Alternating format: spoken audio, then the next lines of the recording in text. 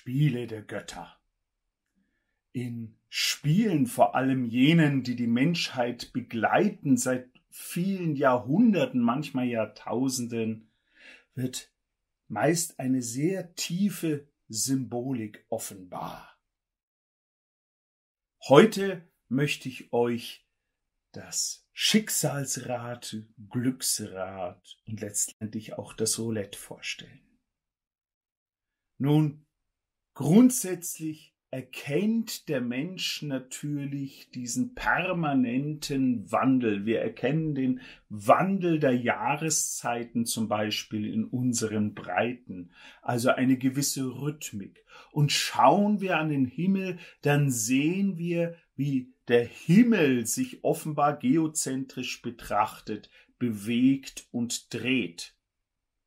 Und so kommt es zur Drehung und Bewegung der Tierkreiszeichen und einer immerwährenden Veränderung auch von Zeitqualitäten. Manche Zeitqualitäten unterstützen dich und tragen dich, andere Zeitqualitäten wiederum scheinen dir und deinem Wesen entgegenzuarbeiten. Deswegen hat sich schon sehr früh die Sterndeutung, also die Astronomie und natürlich auch die Astrologie entwickelt. Aus dieser Beobachtung des Wandels der Jahreszeiten und des Auf- und Untergangs der Gestirne, der Drehung des Rades des Himmels, hat sich dann fast weltweit, können wir sagen, die Vorstellung des Schicksalsrades entwickelt. Also etwas, was sich immerwährend dreht, was dich nach oben befördert und wieder nach unten befördert. In Indien zum Beispiel hat sich daraus letztendlich auch das Rad des Dharma entwickelt, also die Vorstellung der immer wiederkehrenden Geburten und Todesfälle, sozusagen das ewige Leben durch eine immer Wiederkehr der Reinkarnationen mit hoffentlich verbesserten Lebensbedingungen, wenn du dich auch gut benimmst und ein gutes Karma aufbaust. Aber diese Vorstellung, die war auch in anderen Kulturen da. Wir kennen zum Beispiel die drei Weberinnen oder Spinnerinnen. Ja, die eine spinnt den Lebensfaden, die andere teilt ihn zu, die dritte schneidet ihn ab. Auch hier haben wir die Drehung und Bewegung des Rades mit dabei, eine scheinbare Zufälligkeit. Und dennoch handelt es sich letztendlich um Schicksalsgöttinnen, die das Schicksal zuweisen. Und so waren die drei Nornen zum Beispiel den Göttern noch übergeordnet, ähnlich die drei Parzen oder Mäuren auch. Sie standen sogar über dem Schicksal der Götter. Eine dieser bekanntesten Schicksalsgöttinnen, wenn man so will, ist natürlich Fortuna selbst, also das Glück. Sie weist dem Menschen mit ihrem Glücksrad und manchmal auch dargestellt mit dem Füllhorn ihr Schicksal zu.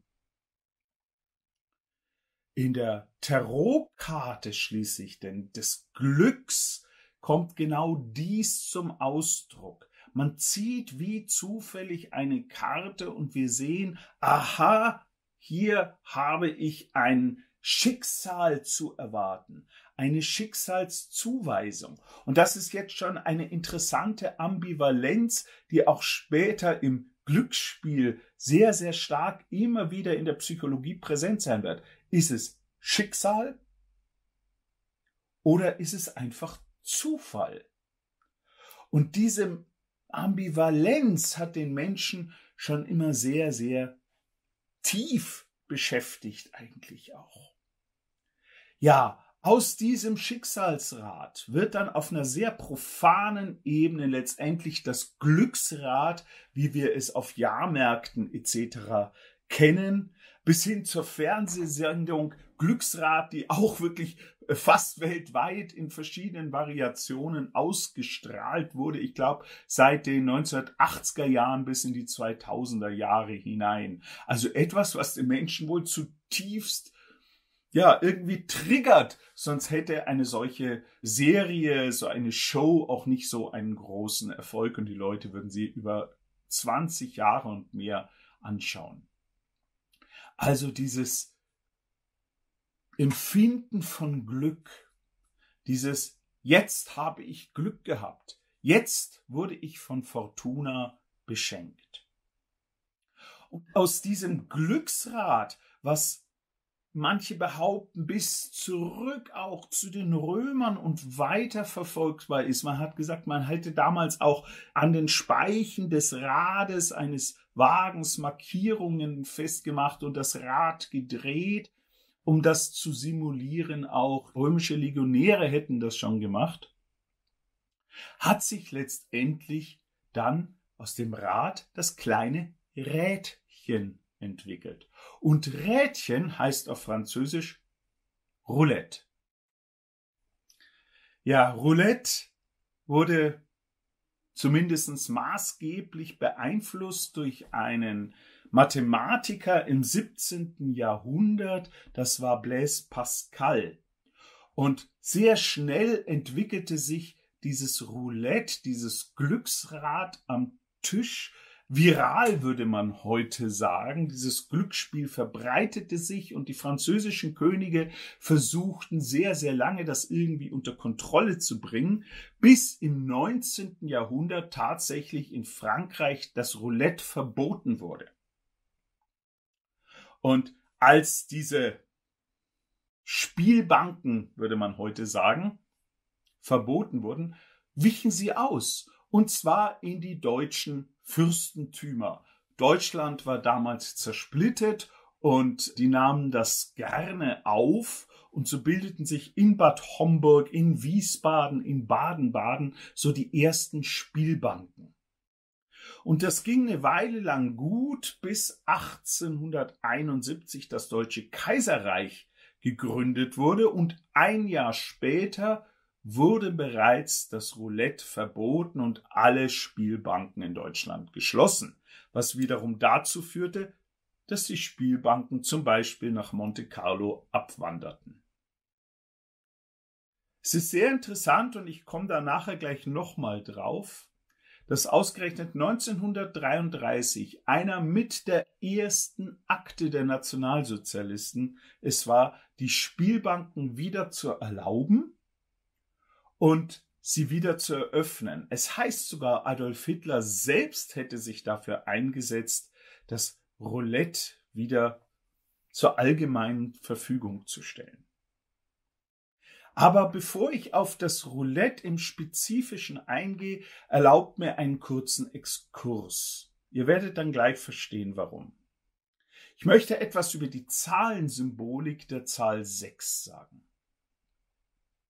Nun, wenn wir uns alleine schon einmal die sechs in ihrer Grafik anschauen, also die sogenannte arabische Zahl, die ja eigentlich aus Indien kam, aber von Indien über die Araber letztendlich dann zu uns kam, diese sechs, dann können wir alle arabischen Zahlen eigentlich in drei Sphären aufteilen, in drei Grundlinien. Die unterste steht für das Physische für unsere Objektwelt, die mittlere Ebene für die Welt des Ätherischen, für die Welt der feinstofflichen Kräfte und die oberste für die geistige Welt oder Paradieswelt. Und jede Zahl arbeitet nun mit diesen drei Welten. Die sechs wurzelt sozusagen im Geistigen oben aber sie trägt Frucht, sozusagen der Kreis, die Kugel, man könnte auch sagen der Apfel, der dranhängt, wird im physischen getragen. Das heißt, die Sechs zieht aus dem Geistigen heraus ins Physische. Interessanterweise haben wir das ja auch in dem Gleichklang der Zahl sechs und dem Sex also der Sexualität. Auch hier wird aus dem Geistigen ins Physische gezogen, was letztendlich natürlich dann zur Inkarnation, also zur Geburt führt. Die Sechs ist also eine Zahl, die das Geistige mit dem Physischen verbindet. Und in der Offenbarung des Johannes tritt das sehr, sehr offenbar hervor in dieser Offenbarung.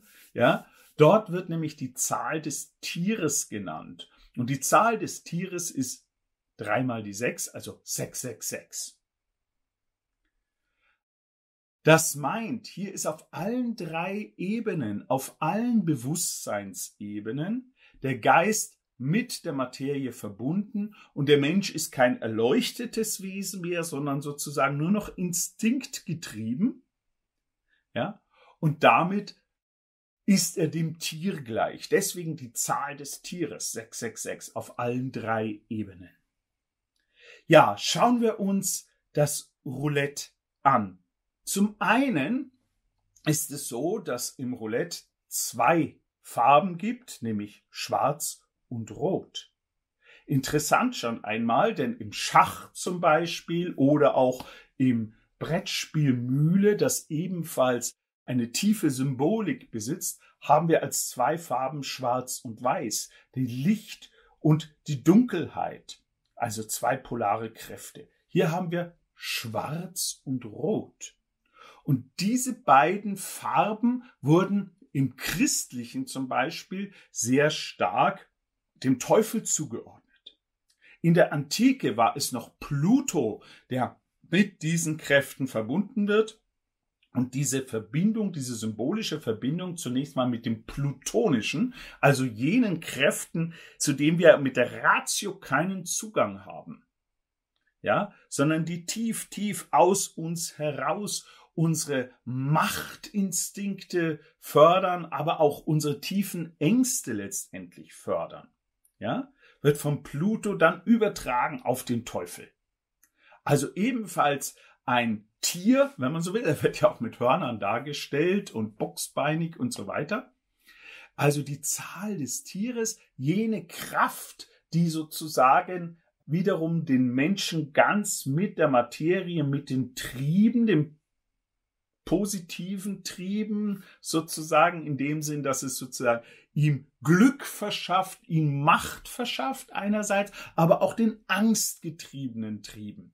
Ja, so. Und zwischen diesen beiden Polaritäten nun arbeitet auch das Roulette mit den Farben Schwarz und Rot, mit den Ängsten Schwarz, aber auch der der Triebhaftigkeit letztendlich der Farbe Rot. Es sind also beides Farben, nicht Licht und Schatten, wie im Mühlespiel, sondern es sind beides Kräfte, die zutiefst sozusagen mit unserem Unbewussten verbunden sind.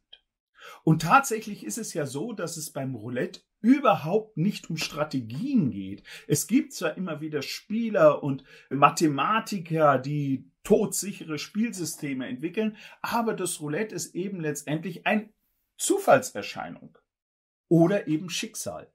Also, wenn du beim Roulette gewinnst, ist das Zufall oder folgst du einer Glückssträhne, wie dann der Spieler sagt.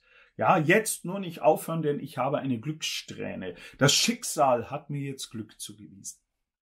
Ja, schauen wir uns den Teppich an, sozusagen, auf dem das Roulette gespielt wird, dann haben wir hier 36 Zahlen üblicherweise. Es gibt ein paar Variationen des Roulettes, aber ich nehme jetzt mal so die üblichste. Das sind 36 Felder. 36. 6 mal 6 Felder. Und da haben wir wieder die Symbolik der Zahl 6. Aber die zieht sich noch viel weiter durch die Symbolik des Roulettes, nämlich jede Zahlenreihe letztendlich ergibt in ihrer Quersumme wieder die Zahl 6. Also die erste Reihe zum Beispiel 1 plus 2 plus 3 ist 6. Nehmen wir als Beispiel die dritte Zahlenreihe. 7 und 8 und 9 ist 24, 2 und 4 ist 6. Nehmen wir eine der mittleren Zahlenreihen. 16 plus 17 plus 18 ist 51. 5 plus 1 ist 6. Nehmen wir die dritte, dritte Zahlenreihe von unten als Beispiel. 28 plus 29 plus 30 gibt 87. 8 plus 7 ist 15. 5 plus 1 ist 6. Jede der Zahlenreihen ergibt in ihrer Quersumme 6. Also die 6 ist zutiefst mit dem Aufbau des Roulettes verbunden. Es zieht tatsächlich das Bewusstsein in die Körperlichkeit, in die Stofflichkeit hinein und damit letztendlich schaltet es die Ratio eigentlich auch aus. Es geht, alles ist so aufgebaut, dass du es eigentlich nicht rational erfassen kannst. Und wenn wir jetzt alle Zahlen zusammenrechnen, 1 plus 2 plus 3 plus 4 plus 5 plus 6 und so weiter, dann erhalten wir die Zahl 666. 666. Die Zahl des Tieres. Also wir haben Schwarz und Rot, wir haben 666, jede Zahlenreihe ergibt 6, 36 Felder ist gleich 6 mal 6. Das heißt, auf allen Ebenen ist dieses Spiel symbolisch so aufgebaut, dass es sozusagen den Geist in die Materie hineinbindet letztendlich. Nun, ich komme noch einmal zurück, ja, zur Geschichte des Roulette. Wie gesagt, im Kaiserreich im Deutschen war Roulette verboten worden. Die Spielbanken waren aufgelöst worden. Und ausgerechnet 1933 gehört es mit zu den ersten Handlungen, dass Adolf Hitler persönlich sich dafür einsetzt, dass die Spielbanken wieder eröffnet werden. Und das im Jahr 33. 3 und 3 ist 6. Ich sage jetzt nicht, ihr kennt mich, die, die bei mir schon auf Seminaren waren, dass das alles ein durchdachtes Spiel ist der Illuminaten oder so etwas, sondern vielmehr, dass unseren Spielen eine tiefe Symbolik zugrunde liegt, die auch auf Synchronizität beruht, zum Teil natürlich auch auf dem Wissen, auf der wissentlichen Einbau von Symbolen. Es ist nicht so zufällig rot und schwarz zu wählen. Ja, man hätte ja auch, was weiß ich, grün und violett wählen können. Ja. Aber ich glaube nicht, dass das so bis ins Letzte in dem Fall so durchdacht ist von irgendwelchen Herrschergruppen. Dennoch, ja, das Glücksrad ist etwas und das Rad des Schicksals ist etwas, was uns zutiefst wegbringt von der Ratio. Es ist eben kein Verstandes, reines Verstandesspiel wie das Schach, was überhaupt keine Glücksebene besitzt, sondern eine reine Verstandesebene besitzt hier jetzt zum reinen Glücksspiel. Wir haben hier also wirklich enorme Polaritäten und selbst hier ist der Mensch hin und her gerissen zwischen der Zufälligkeit und dem Fatum, dem Schicksal, das ihm die Fortuna letztendlich gewährt. Ja, das Schicksalsrad, das Roulette, ein Glücksspiel, was zutiefst unsere unbewussten Ebenen anspricht und unsere Triebe triggert.